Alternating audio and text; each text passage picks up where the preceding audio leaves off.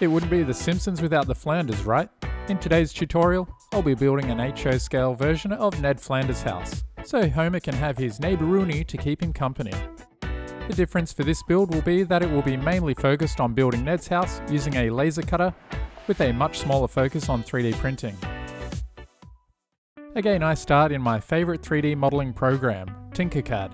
This program, as you'll see, is also great for creating SVG files that can be laser cut. And it's very useful being able to see the model in its three-dimensional shape before layering it all flat and laser cutting. Using various images from the cartoon help enable me to build the house as accurately as I can. To make assembly easier, I create small tabs on each corner, this makes it much easier to align the parts and ensure they go together as intended. It's also worth noting that the laser will remove a small amount of material, so to account for that, I leave a little bit of overlap between the parts. This will ensure there is a nice snug fit when gluing the two sides together. To export an SVG file in Tinkercad, you want the part to intersect the floor plane. Then with the part you want selected, you can click export and then export as an SVG. The entire project will be available to download on my website and the Tinkercad project file will be publicly available as well, so you can make changes as needed to suit your method of construction. I'll be using 1mm clear acrylic for this project. I first prepare the acrylic by removing the protective sheet and then giving it a light sanding across the front and back. This will 1. make sure it's easy to see using the laser cutting camera, and 2. it will make painting much easier. Paint doesn't tend to adhere well to smooth plastic. The laser for this project is the BeamO 30W CO2 laser. With the Beam Studio app open, I can take an image of the work surface. I only need to see the two edges knowing that the middle is entirely covered by the 1mm acrylic. Now each SVG file can be opened and positioned, making the most of the acrylic sheet. With all the parts aligned, I set the power as needed and proceed to start the cut. You can see how easily the laser does cutting through acrylic. It's my material of choice for laser cutting. It doesn't warp over time either, compared to a lot of wood and MDF materials, especially considering I live in a very humid part of Australia. There may be very slight raised edges around the cut. It's usually not a problem, however it's very easy to remove with a quick pass using some sandpaper.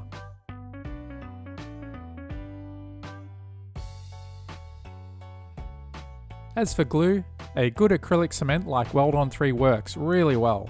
However, I recently saw a modeler using 3D resin as a glue to hold parts of a 3D print together. That gave me the idea to try that on laser cut acrylic models. All you need is some 3D printer resin, a UV torch and gloves. I also wrap my torch in a plastic bag to help avoid getting resin on it. I was pleasantly surprised. Not that it works, I suspected it would, but at how well it worked. I didn't expect it to do such an amazing job. The process goes so fast. Compared to using something like epoxy or even superglue, the construction of this model just flew by. And it was even better because resin goes on wet, then you can take your time getting the part just right in terms of position and angle. Then when you're ready, hit it with the UV light for about a second and it's set in position and won't move on you. I give it about 5 seconds generally, just to ensure the resin sets really well. I think it's important that the acrylic surface is sanded. With a perfectly smooth surface, I don't think the resin would stick quite as well you can see that it's quite strong. Of course I could break it, but with a little bit of force it still holds up really well.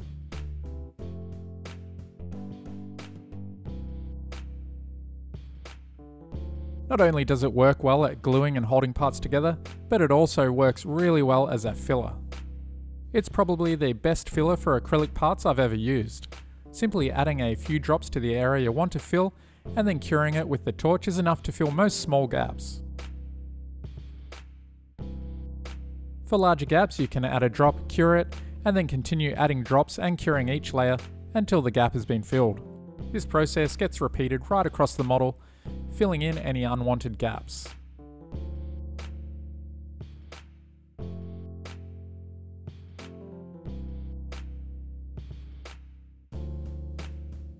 Once done, I give the model a final cure using the curing chamber for about 10 minutes just to make sure all of the resin is cured properly. You could also leave it out in the sun if you don't have a curing chamber. Once fully cured, the excess is sanded away. For easy to reach areas, it's easy to use a large flat sanding surface. This will ensure that it's all evenly sanded flat. For other areas it might be necessary to use a sanding stick or something similar. The chimney is a bit unique. I use four 1mm flat sections and stack them together with some resin between each layer. Then, once pressed together, I have a small amount of 1mm alignment holes in each piece so a piece of styrene can be pushed through. This helps ensure each section of the chimney is perfectly aligned and it is glued together using the resin. Once glued, the excess styrene is removed and the process of sanding and filling is done to get a nice smooth surface. Now it's ready for some paint. I use primer filler for the undercoat, applying it in multiple thin layers.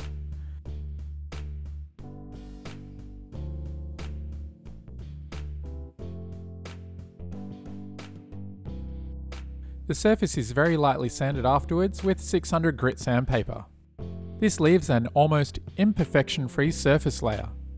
The joining tabs are basically invisible. Now the garage is attached the same way as the rest of the model is assembled.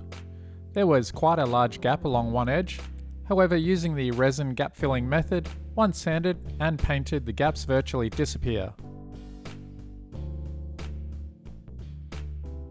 All the other details like doors and windows are also laser cut.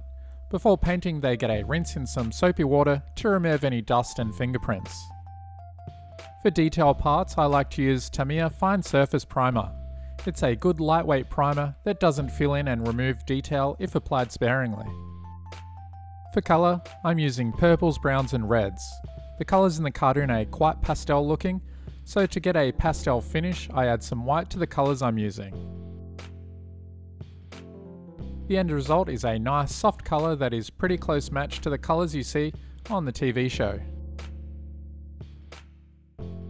It's not entirely necessary, but I also paint the roof.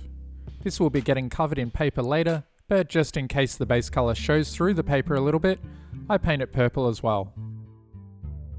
The house colour is a mixture of cork and white. It's a darker shade compared to the Simpsons house. It doesn't look much different from the base coat at the moment, but once dry, and when the two houses are side by side, it's a pretty close representation of what it should look like. Lastly, the painted parts are sealed with Tamiya Flat Clear to protect them from scratches and other damage.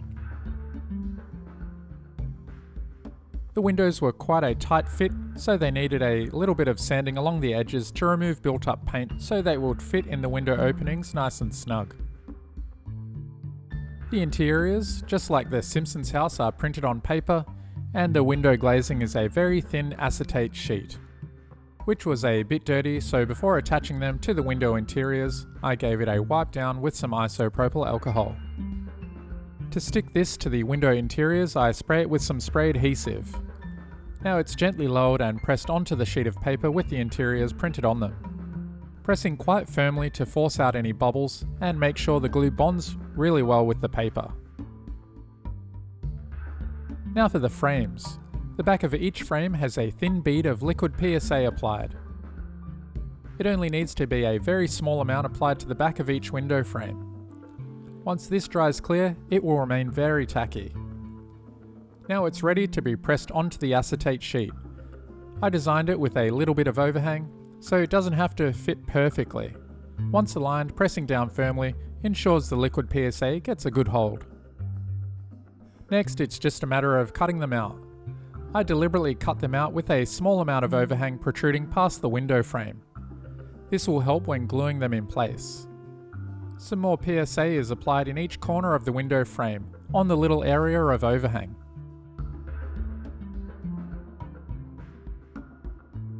When they are pressed into position, the overhanging areas press up against the inside of the house.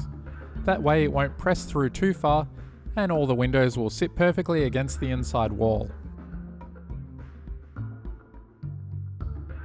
Other details like the window shutters and window sills are added now as well. Some brick detail is added to the chimney using the laser cutter. This could of course have been done initially when the chimney was laser cut the first time, but it also works doing it now as well. The roof, like the window interiors, is also printed on paper. I use Photoshop to get the colour and size just right so that the roof will fit with a small amount of overhang. Detail is also drawn to roughly match what you see in the cartoon.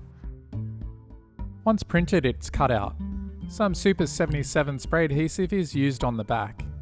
Then aligning the top edge as best I can, I gently press it down, starting from the top and gradually working down to the bottom. This helps prevent bubbles. Excess paper is trimmed away using a sharp hobby knife. The white edges of the paper are coloured in with some purple texture, just so they aren't so obvious. Now we can attach the chimney. I used a machinist block to ensure the chimney was straight, unlike the 3D printed house where I accidentally broke the chimney while trying to straighten it as the epoxy was hardening. That's pretty much it for laser cutting and the house construction. There are some additional 3D printed details that will be added. The doorway awning is one such detail, as well as the security lights, and also the aerial on the roof. Now for the rest of the diorama. I'm not going to spend too much time talking through this process. It's almost identical to how the Simpsons house diorama was built. I will talk through some of the changes though, and some mistakes like using the wrong thickness plywood but at least it was an easy fix. Importantly on this module, I needed the dimensions to line up, so carefully measuring areas like the footpath and the road so they match up when the two dioramas are pressed together. Here is a montage of the process. For a detailed description, be sure to check out the previous video where I build the Simpsons house. I spend a bit more time talking about the specific process and materials I use in that video.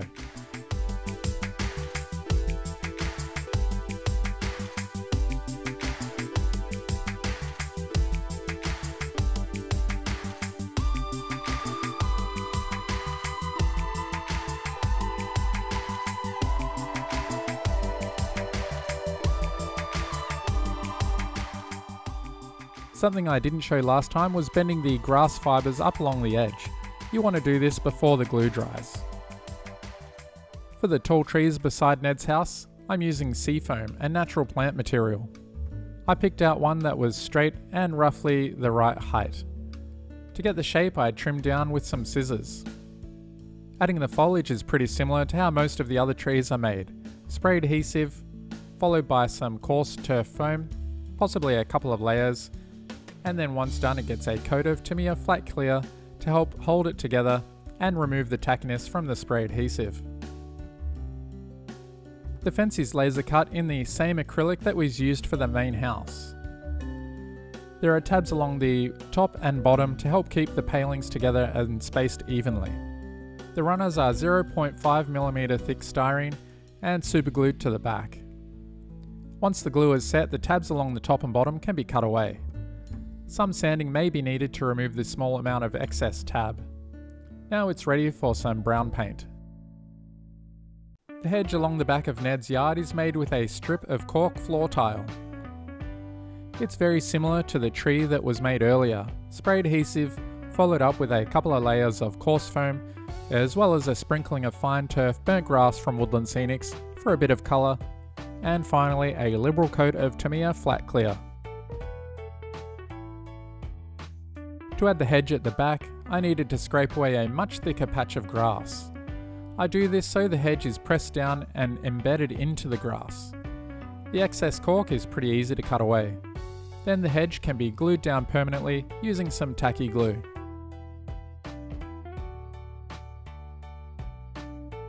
Here is one of the mistakes I made. I accidentally used 7mm plywood instead of 9mm plywood for the base. Luckily this was an easy fix. Simply adding some risers using styrene to the base of the Flanders module, I was able to raise the height of the module to match the Simpsons one. Now when the modules are pressed together, the height matches much closer. Last time I painted the edges black right at the end, but they can really be done at any point. It's a bit easier to do it before the house has been glued onto the diorama. Ned has some garden edging along the front of the footpath. I'm just using some florist wire wrapped around the end of my hobby knife to create the circles. Then I can cut the circles in half and get some consistent semicircles. The shape is a little off so I pinch them together just a bit to get a nice shape that looks similar to the cartoon. Then they are simply glued down along the edge of the footpath.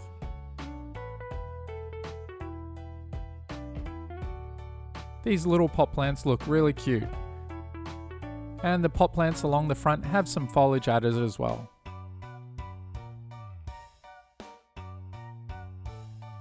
Once the trees are added, it's almost done. The final touch is Ned, Todd, and Rod. Now we have a completed diorama. A perfect addition to set up right next door to The Simpsons. Homer will be so happy.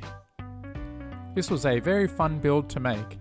Don't forget to check out my website to download all the files so you too can have fun building this model of the Flanders house. Also, the original Tinkercad file will be made available if you need to make any adjustments to suit your specific laser cutter or if you want to try 3D printing the model. Looking forward to seeing you at the next video. Cheers, and thanks for watching.